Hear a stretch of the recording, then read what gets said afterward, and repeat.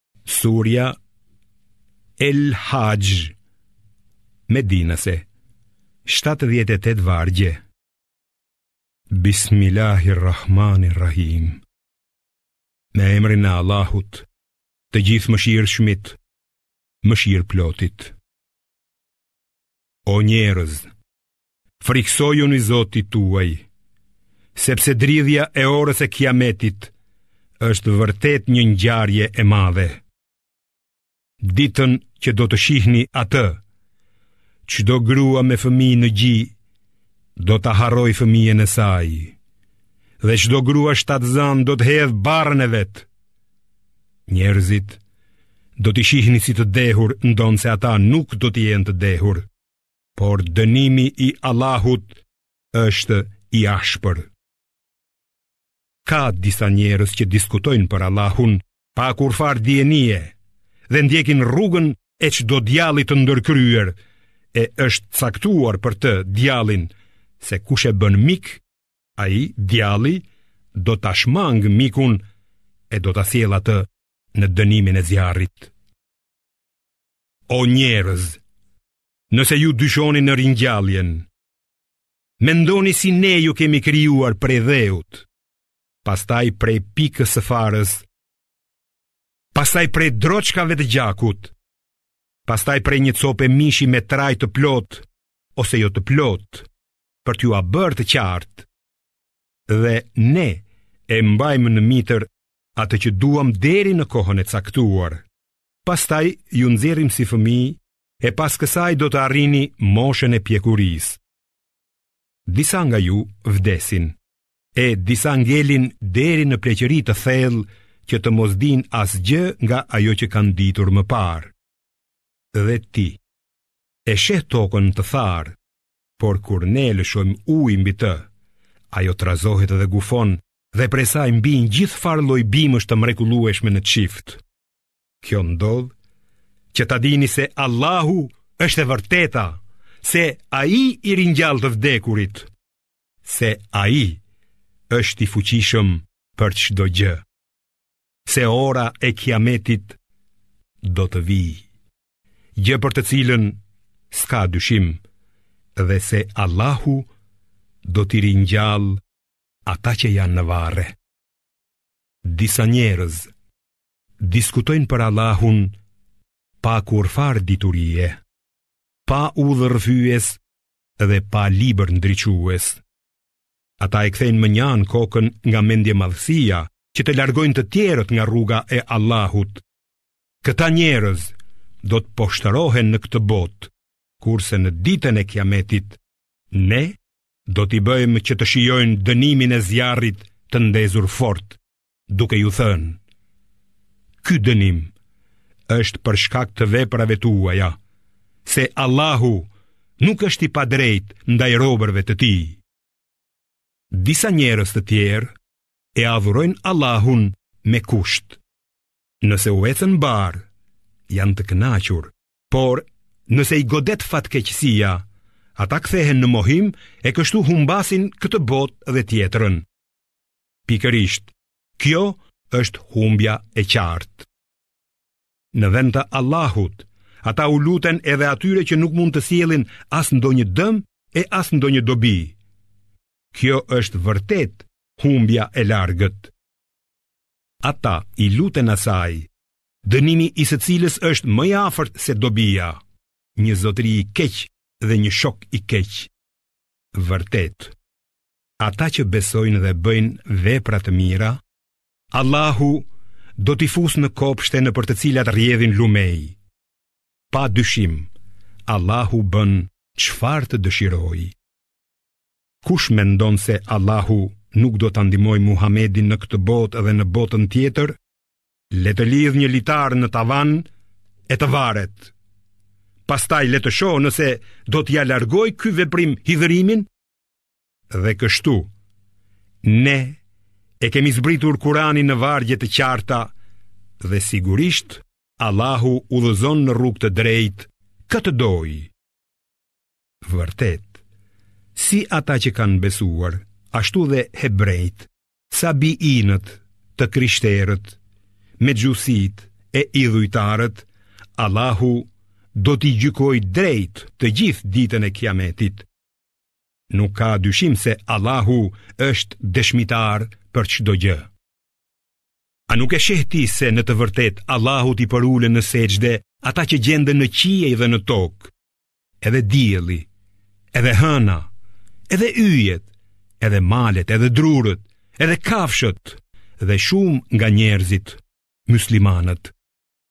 Por ka shumë njerëz mohues që meritojnë dënimin E atë që e poshtëron Allahu, askush nuk mund ta bëjë të nderuar.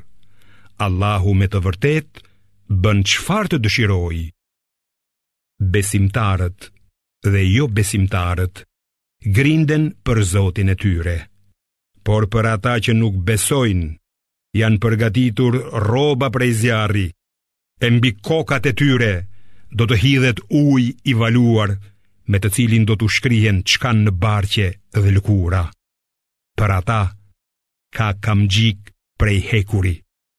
Sa herë që do të përpiqen të dalin nga ankthi i zjarrit, do të rikthehen në të e do t'u thuhet, shijoni dënimin me djegje të tmerrshme. S'ka dyshim se ata që besojnë dhe bëjnë vepra të mira, Allahu i fut në kopshte nëpër të cilat rjedhin lumenj. Ata do të stolisen me byzylykë të artë dhe inxhi, e rrobat e tyre do të jenë prej mëndafshi. Ata qenë udhëzuar drejt fjalës së mirë dhe në rrugën e atij që është i denjë për t'u lavdëruar.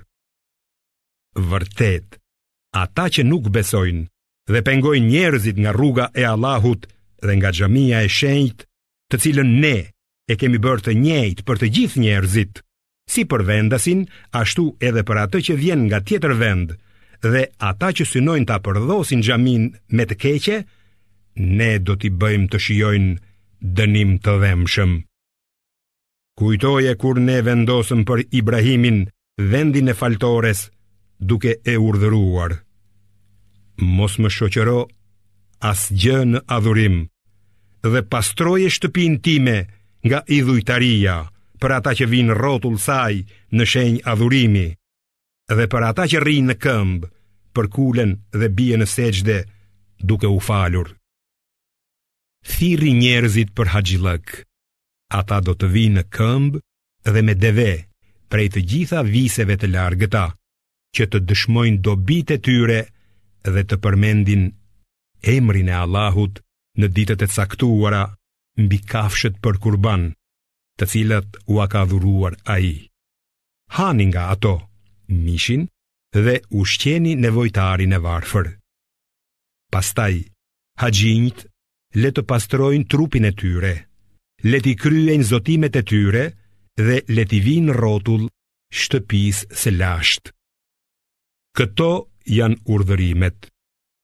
Për atë që nderon ritet e shenjta të Allahut, do të jetë më mirë te zoti i tij. Ju janë lejuar bagëtitë përveç atyre që ju janë thënë se janë të ndaluara. Andaj, largohuni prej ndotësisë së idhujve dhe largohuni prej fjalëve të rreme. Përuluni plotësisht para Allahut me sinqeritet, duke mos i shoqëruar asgjë atij në adhurim.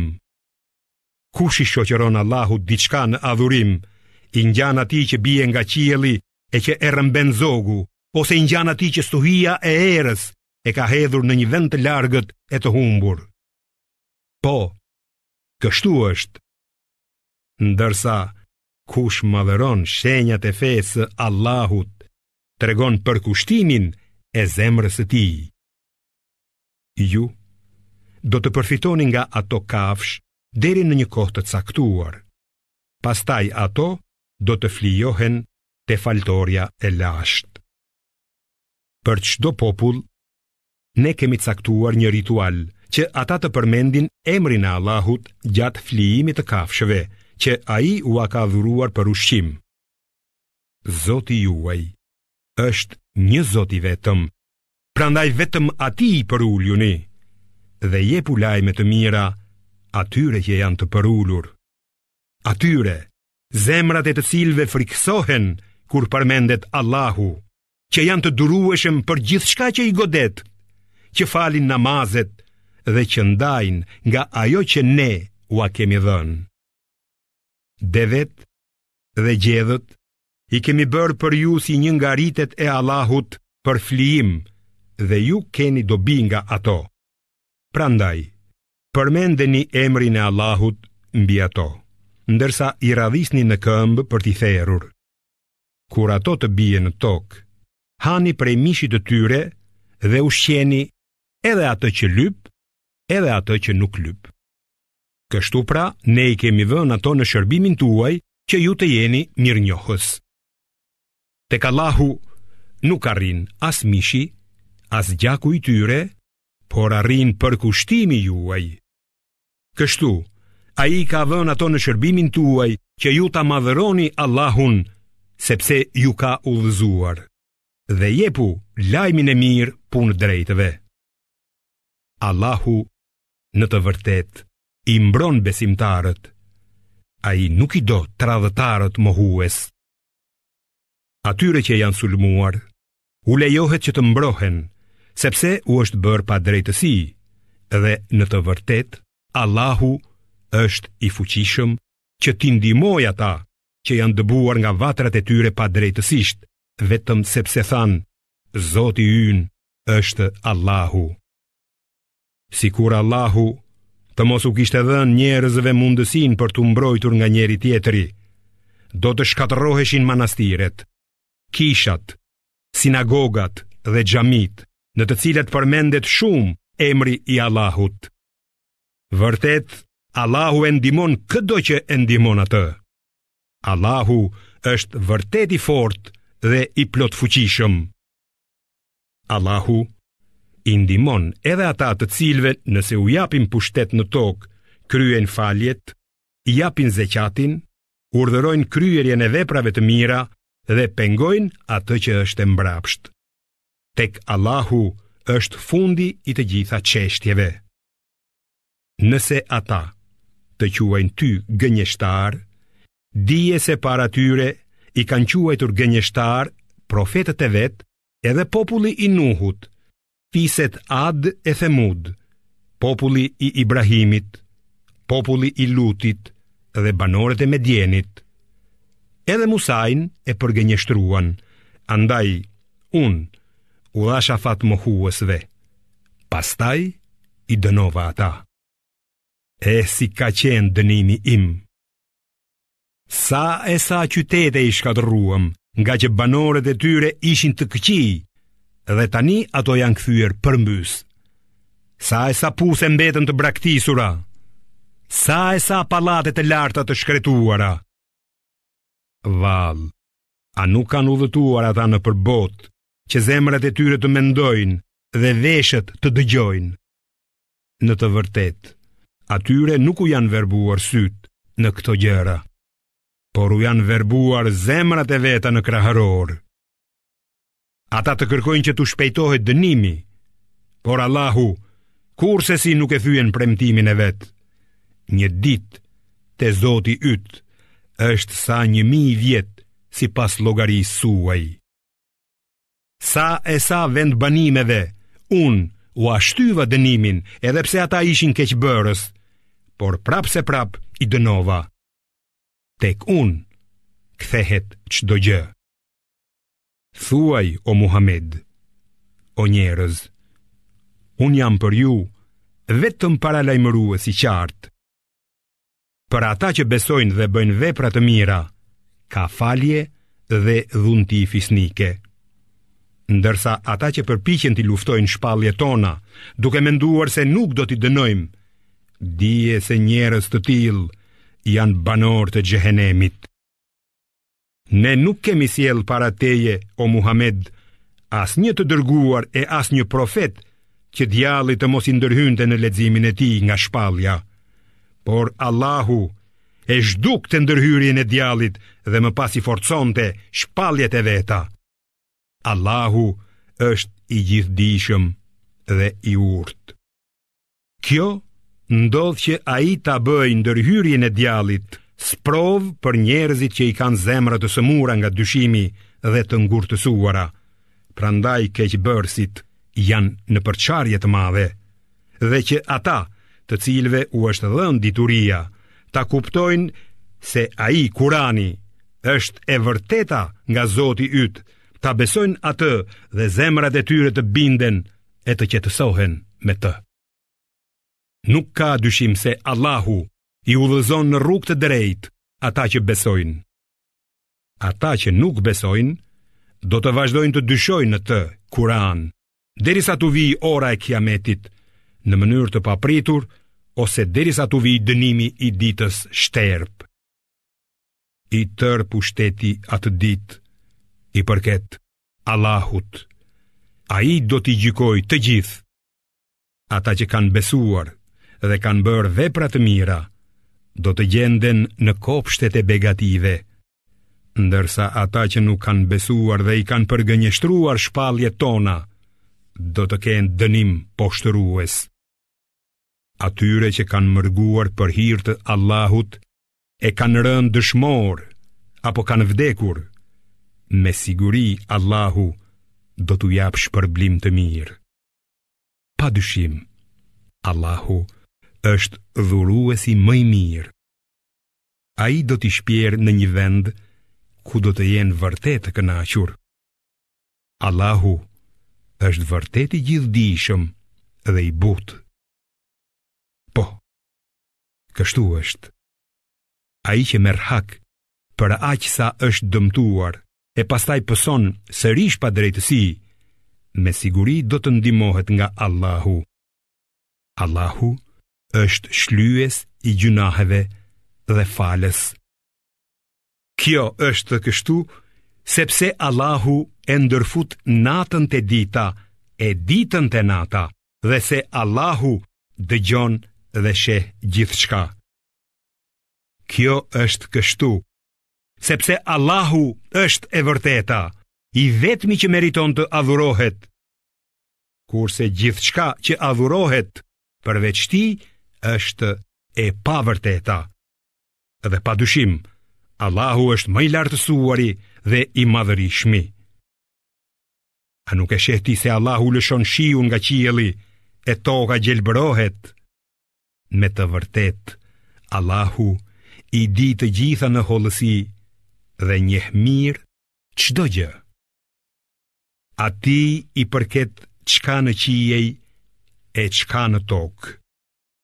Me të vërtetë, Allahu është i vetëmjaftueshmi dhe i denji për çdo lavd. A nuk e sheh ti se Allahu ka vënë në shërbimin tuaj gjithçka që është në tokë dhe anijet që lundrojnë nëpër det me urdhrin e tij? Është ai që mban qiellin që të mos bjerë në tokë. Kjo mund të ndodhë, vetëm me lejen e tij. Vërtet, Allahu është i butë dhe i mëshirshëm me njerëzit. Ai ju dha jetë dhe pastaj do t'ju bëjë të vdisni e më vonë do t'ju ringjallë. Me të vërtet, njeriu është mosmirënjohës. Ne kemi caktuar për çdo popull rregulla fetare sipas të cilave ata shkojnë. Prandaj, mos lejo kurrsesi o Muhamed që të diskutojnë me ty për atë çështje. Dhe thirri te Zoti yt. Sigurisht që ti je në rrugë të drejtë. Nëse ata grinden me ty, thuaju, Allahu e di më së miri atë që bëni ju. Ai do të gjykojë në ditën e kiametit për kundërshtitë që keni pasur ndërmjet jush. A nuk e di ti se Allahu di çdo gjë që është në qiej e në tokë? Të gjitha këto janë shënuar në libër.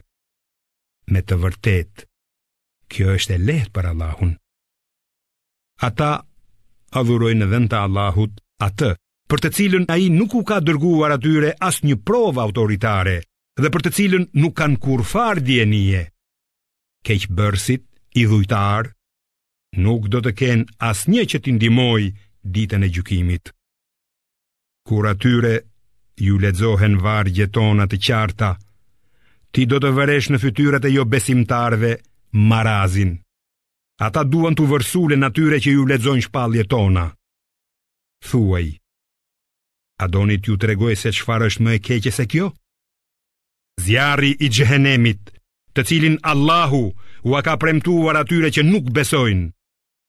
E sa vendbanim i shëmtuar që është ai?